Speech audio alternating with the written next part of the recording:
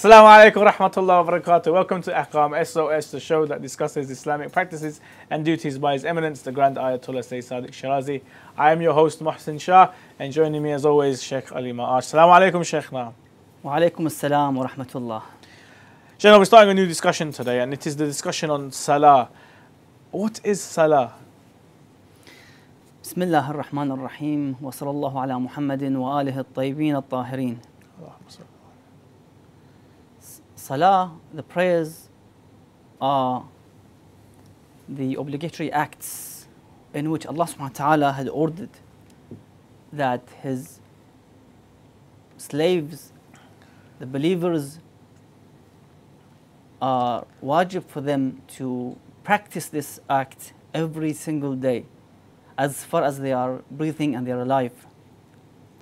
The Holy Quran states, Bismillah ar-Rahman ar-Rahim, uh, in one of the um, ayat فأقيموا الصلاة in Surah An-Nisa ayah 103 فأقيموا الصلاة Allah orders the mu'mineen to pray that uh, establish prayer and if Allah orders it means that we have to um, establish and pray then the ayah says إن الصلاة كانت على المؤمنين كتابا موقوتا salah was prescribed on the mu'mineen according to the times. So we have to initially pray, number one, to pray in the way that Allah had prescribed and informed us. Some people argue that, well, I can pray my heart in the way that I wish. I don't have to follow this sequence of up and down, you know, raising your head, up and down, and so forth. I can just pray, relax, you know, do yoga, you know, exercise and pray to Allah subhanahu wa ta'ala with peace and calmness. We say that we have to see how Allah wants us to pray for Him, the way that He wants, how He wants to, for us to thank Him on the way that He wants, because He's the wise, He's the creator, and He knows the inside out of this creation. So we rely on Allah's instructions and guidelines on how to pray to Him. And with regard to the uh, salah as well, that anything that we do is accepted if the salah is accepted. In قبلت قبل ما سواها. If we pray, then the rest of the a'mal will be inshallah accepted by Allah subhanahu wa ta'ala.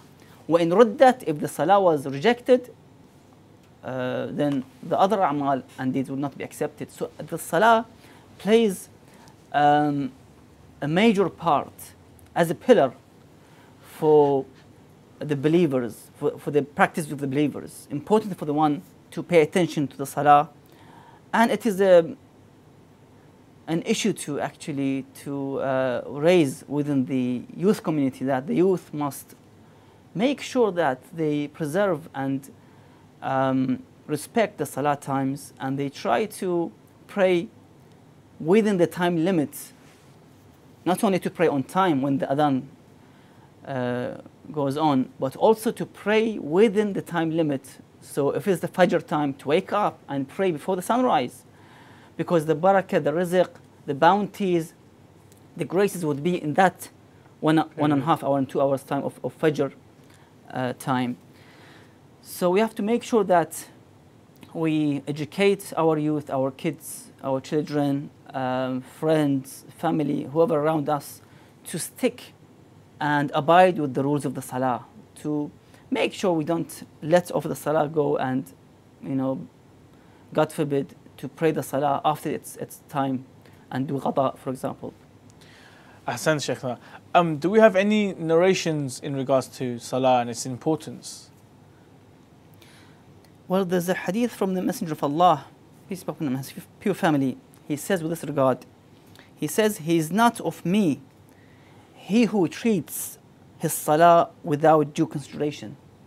He's not of me. Imagine that if I ignore the salah and pray whenever I wish, maybe in the weekends, you know, calculate, you know, five days of prayers. I do qada in one hour time, let's say, Mhm. a week, one, one hour a week. And try to ignore the salah to pray them on time. Then imagine the Prophet says he is not of me. The Prophet will reject that person who will say to Allah on the day of judgment that I am from the ummah of the Prophet. The Prophet will say, No, I'm, I'm not. I won't take you on board. I mean, God forbid. In another hadith, the Prophet ﷺ, he says, Whoever treats his salah without due consideration uh, will not attain my intercession, shafa'ah. Imagine again how much we are desperate on the day of judgment mm-hmm. to get the intercession and shafa'ah of the Prophet.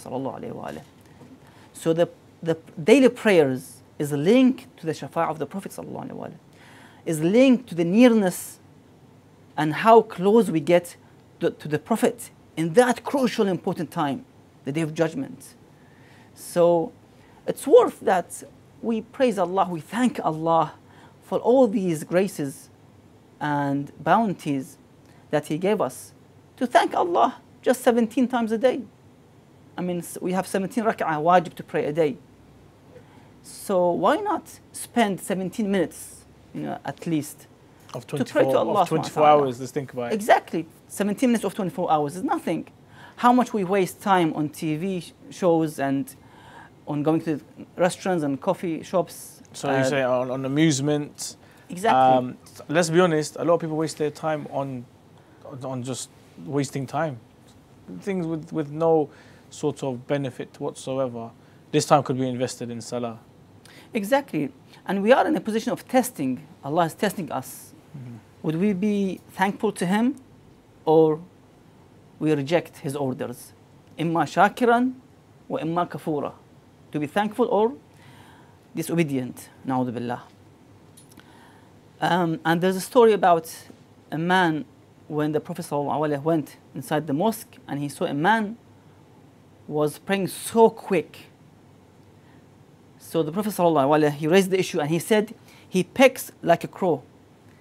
If he dies and his salah is like this, he will die with other than my religion. Imagine mm-hmm. how important and situation is, is real that uh, the one should also not only just to pray it and, and, and let it off and, and just, you know, yeah, let me pray in, in a few seconds and I just, I just leave.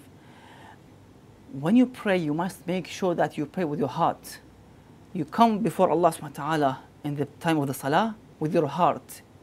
We talk to Allah in the salah with our heart, not only with our tongue.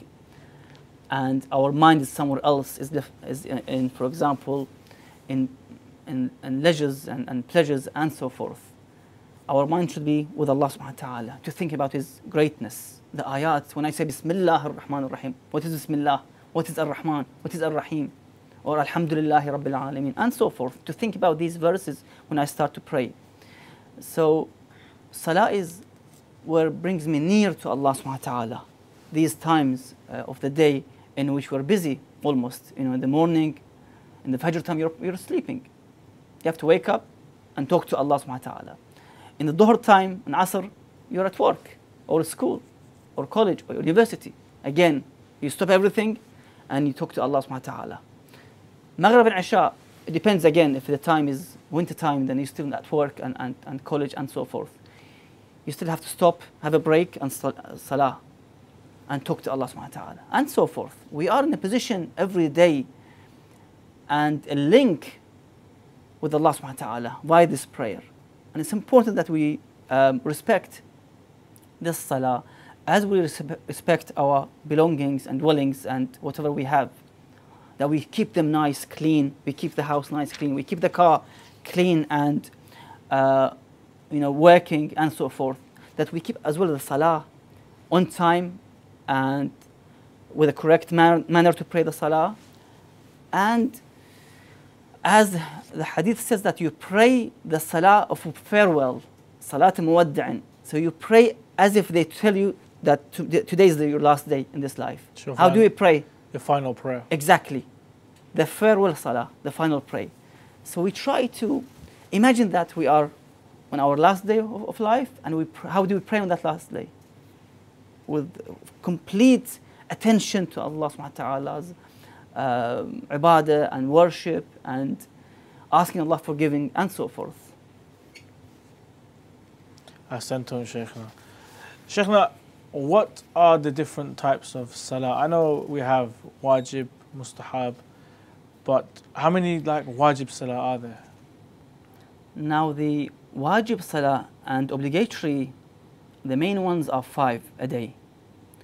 You start with salat subh, the fajr time, and then you have dhuhr and asr, dhuhr, and then you have the asr, they, they're both separate. And then you have maghrib and isha. Uh, the maghrib is separate and the isha is separate. So basically, for the salat al-subh, you have two rak'ah to do. And for the salat al-dhuhr is four rak'ah. And for the salat al-asr is four rak'ah as well. For the maghrib and isha, maghrib is only three rak'ah and the isha is four. So these are make up 17 rak'ah a day wajib that you have to pray. Of course, there are um, desirable and mustahab prayers within these salah, which is called nafila and ghufayla and so forth, which inshallah will come up later on uh, in the discussion. Is one allowed to perform the salah before the time or after the time? For example, mathalan, it's now Maghrib time, I'm going to read Maghrib and Isha. Uh, I feel a bit energetic. I want to pray Isha first and then I can pray Maghrib after that. Is that allowed? No, you have to actually uh, follow the sequence of the salah. So you begin with the dhuhr first and then asr, or maghrib first and then isha. These are timed, so you cannot actually switch them um, and pray maghrib uh, after the isha, for example, or asr after the uh, dhuhr after the asr. So you have to make sure that you, you follow the sequence of these uh, salah. Shaykhna, when it comes to fiqh, uh, the Shia school of, of, thought gets attacked on that they only pray three times a day and they combine their prayers. From a fiqh perspective, is this allowed or not? Well, this issue is mentioned even in the non-Shia books that the Prophet ﷺ, he combined the Dhuhr, Asr, and Maghrib, and Isha without any reason and excuse, such as the rain, for example, um, or the weather, for example. So he combined them afterwards without any reason, any given reason. Uh, let's say the weather is cold or, or it's too hot, for example.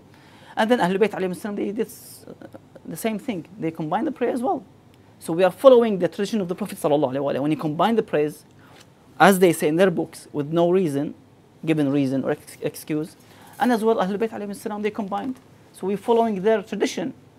And those who want to separate, um, and they said that the, the, the, the sunnahs that we have to separate, it is their own opinions. Um, it's against even the narration that they mentioned that the Prophet actually com combined them in his time. Shaykhna, when does salah become wajib on the mukallif? And is there any excuse for him not to pray that salah?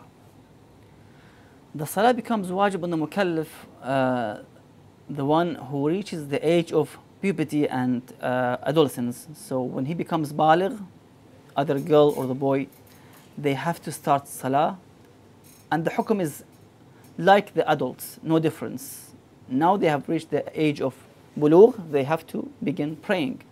And it's a good idea uh, for the parents, for the friends, for those who are guardian of the children and so forth, that they teach um, their children in the early ages, let's say for the boys, seven or eight, let them try to practice, and such, such for the girls as well in the early ages, let's say five, six, so if they can, I mean, uh, it's not wajib, but it's, it's, it's, good to give them the, the, practice and the feel of salah. And uh, by, for example, buying them gifts, promising for them some uh, pleasure activities, for example, and so forth. Because it's going to be very difficult for the one to uh, tell his uh, children to pray when they are in the age of, let's say, 14 or 15 without any practice before. It's, it's difficult. So they have to be in this stage of uh, teaching them in the age, early ages of, of childhood. Sheikhna, could you briefly explain and describe the times when Salah becomes compulsory? Yes, basically, um, for the morning prayer, you have the dawn time, the Fajr time. And it's got its own um, signs and uh, basically it can't really be seen in the West, Western world, especially North Europe, and they can be seen actually in, in the Middle East. So if that Fajr and dawn was visible then it is the start of the, uh, of the Fajr time.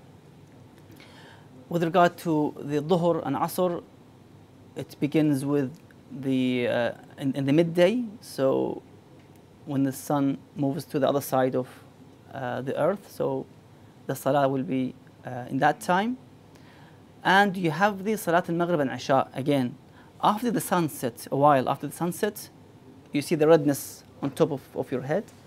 Uh, it is where, uh, when that redness comes up from uh,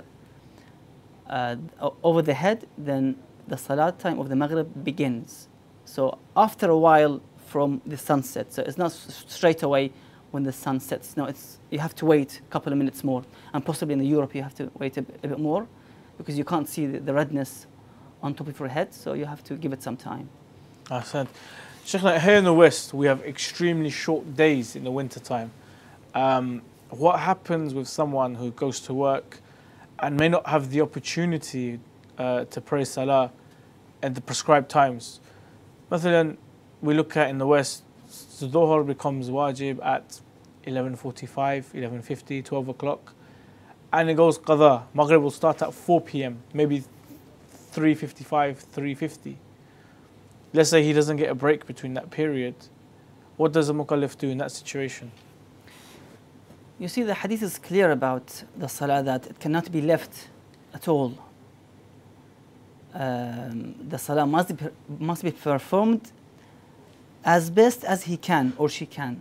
You cannot actually say, well, I'm at work, uh, four o'clock is the sunset, I can't pray, you know, I go back home by six.